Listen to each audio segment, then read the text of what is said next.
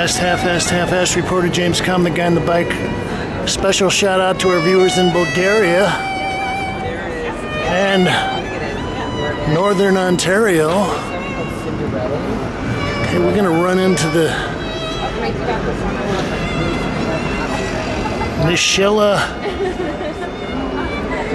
Beauchene Gallery and We'll also run up to the Jack Hanley Gallery. Now we're going to take a look at an exhibition by one of my favorite painters and a guy that in a lot of ways is a legend among paint heads And that's Andrew Masullo. Well, they're calling this exhibition recent paintings, and uh, I'll give you a little snippet of the press release. What does an artist do with paintings he can't finish? Or with finished paintings he once embraced but now rejects?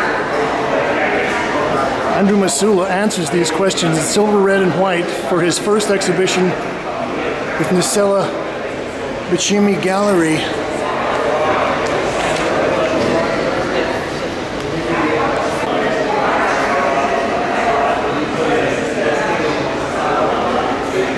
This is titled Number 6033 and I guess that's going to make it a lot easier for me. All these are basically numbered. This is 24 by, this is 20 by 24 inches. Well, gosh, it looks like he's even painted over one of his rejected painters as another number 58. Oh, it's 06. Okay. It's 12 by 12 inches. Uh, I started seeing Andrew's work, well, back in the early 80s. And uh, we've covered a couple of his shows.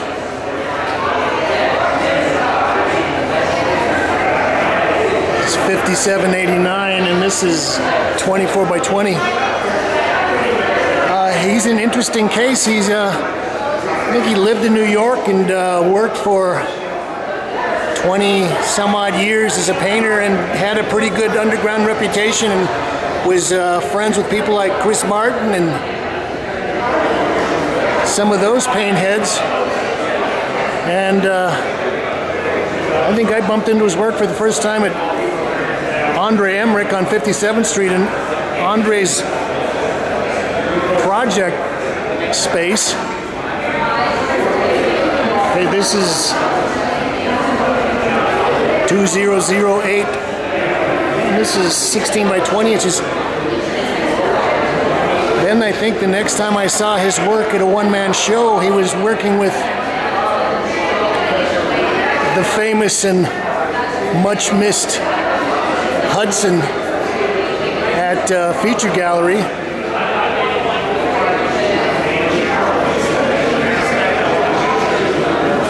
Forty-nine seventy. This is 28 by 22 inches. Then he was in the Whitney Biennial. I guess maybe six years ago.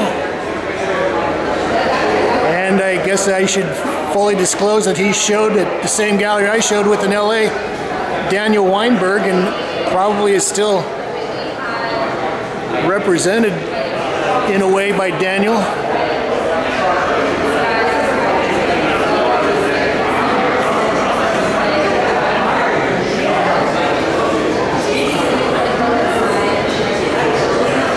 Then he had a show with Mary Boone.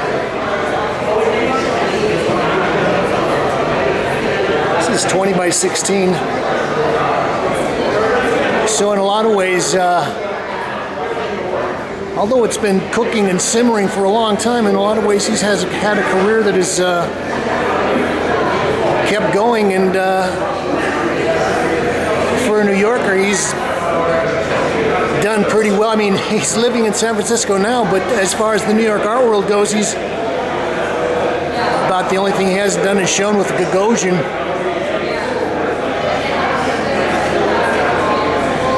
Number 4490. Well, I think the premise of this show is kind of interesting. Sort of sealing, seeing how you deal with paintings that never seem to coalesce. And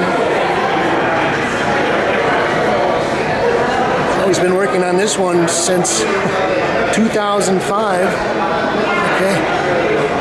Uh, I've also written about uh, and talked about the effects of silver and gold and metallics. And uh, well, Jackson Pollock, I think, maybe was the first person that really kind of popularized the silver paint.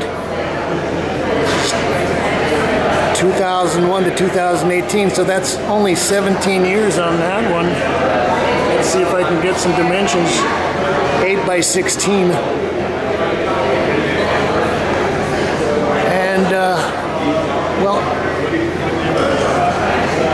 I think one of the things that I enjoy about Andrew is his sense of humor. I was called by a uh, reporter from the New York Times, and she was doing an extended piece on Andrew, and uh, she said, "What did I think of his paintings?" And I said, "Well, the reason I like them." 3093. This is from 1995 to 2018.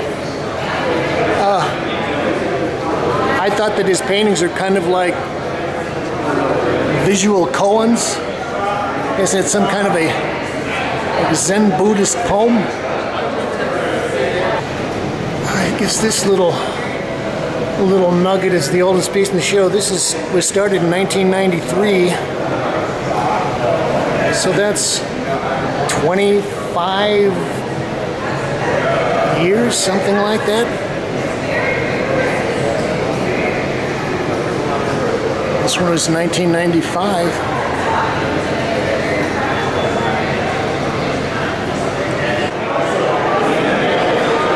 Although this is a very reduced set of elements as far as the color and the forms. You get an idea of his. Hello. I think you get an idea of his uh, kind of creativity.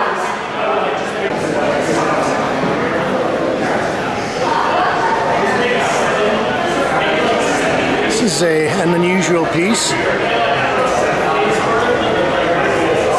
7135 2015 to 2018 I did see uh, a booth and I can't remember which which one it was but it was at the uh, recent Frieze Art Fair up on Randall's Island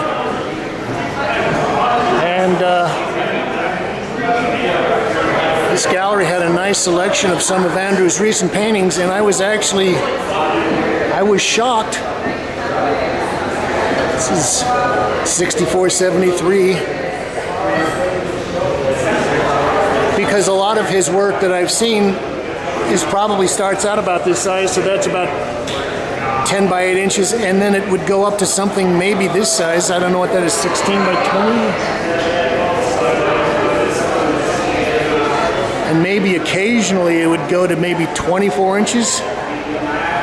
But uh, the recent paintings I saw were more like this size. This is 24 by 30, and some were even a little bit larger, I think. Also, I think it's interesting you can see the uh, the pentimenti, and in a lot of ways, Andrew is a very obsessive painter, working on these, uh, scraping them down a little bit, reworking them, and even when he's not working with just the silver, red, and the white, he does have a very limited set of colors that he constantly uses. He's, it's almost like uh, the notes on a piano or a certain uh, limited number of sounds that he can kind of orchestrate. But he does a wonderful job of uh, getting an incredible amount of mileage out of these 60 47 2014. Also, I think uh, Andrew has gotten quite a uh, quite a reputation as a almost a painting guru, and he goes through a lot of kind of fun and interesting phases. 6073, and I would estimate that this one is also probably about 30 by 24.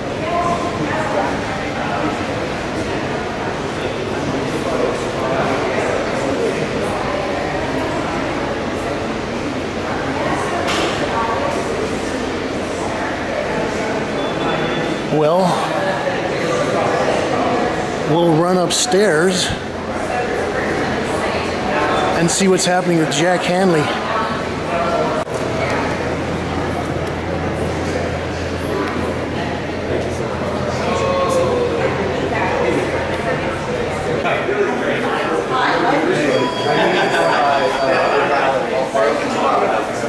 This is an exhibition of ceramics by Roger Herman. I'll read a little bit from the press release.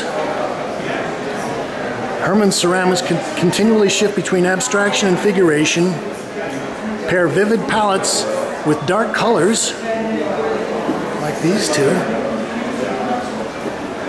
This range of technique is held together by just rawness and vibrancy that is inherent to each sculpture. Drips of paint run down the exterior of the hefty vessels. I like the skull. With occasional window-like holes sharply cut open. Now, I was thinking, I was looking at a couple of these, and this is an example. If you could uh, open that up and uh, peel it back and uh, hang it on a wall, you'd have a nice abstract painting.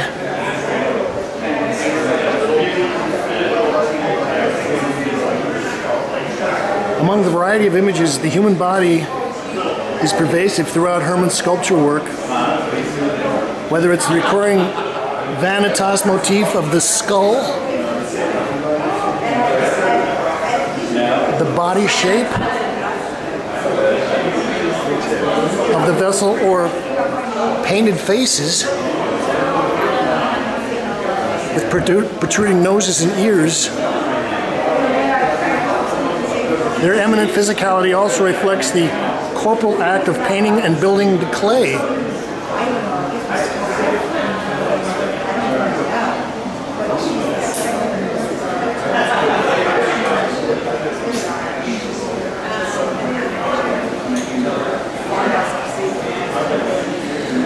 Painted figures and faces call to mind ancient cave paintings, and just like them, they leave their mark and emphasize the presence in its visible materiality. Oh, yeah, and I love the the insides.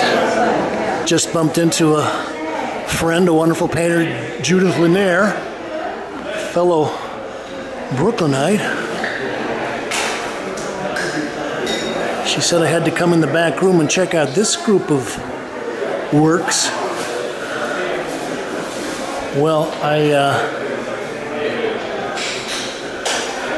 I love this glazed ceramics, and uh, but it's not often that I see people that are as uh, talented painter-wise, or maybe using color and texture and uh, dripping and splatter as Roger here. This is uh, some great stuff. We'll start out looking at this piece. This is untitled. This is 15 by 20 by 20. And I, uh, yeah, I like that uh, the gunmetal gray black and the splatters.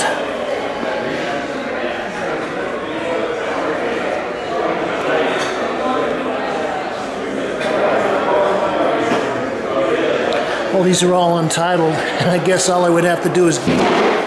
Oops. Somebody spilled the beer. Let's give you a rough idea of the dimensions. I think that's probably about 17 by 20 by 20.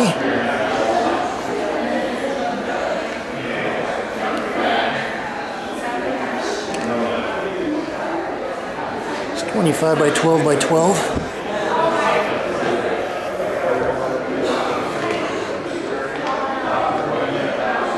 It's 2017 by 17, 27 by 17 by 17. Uh, actually, this is great because this has a little different um, finish. They don't get explicit with what kind of firings and uh, various things he's doing with his his glazes. That's kind of nice. Got some kind of a resist going on there. But this has got a very dry surface as opposed to some of these other pieces. This is 17 by 17 by 20. Also, uh, these are nice. They've got uh, great stuff on the outside and on the inside. Also, some of them are kind of uh, monochrome.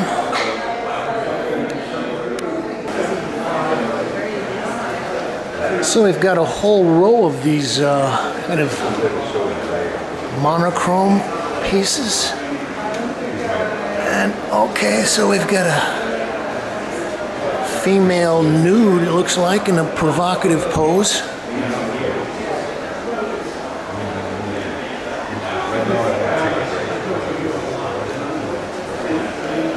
Skulls. Oh, this is nice. We've also got kind of a, so the the brownish gray overcoat has got green and terracotta colors underneath.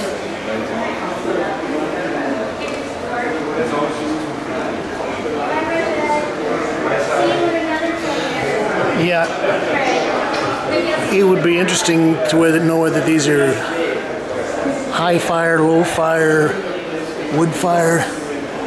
I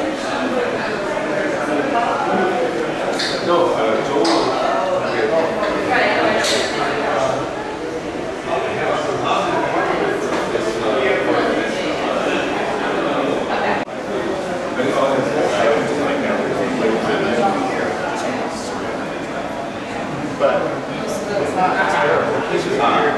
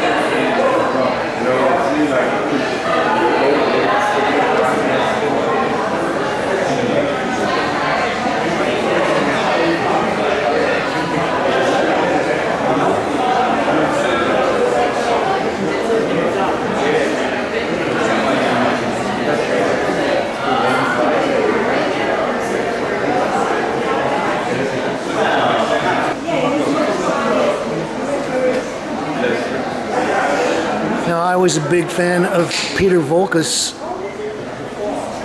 but I don't think that his work actually ever got quite this colorful or painterly. And we'll look at these as our final vessels.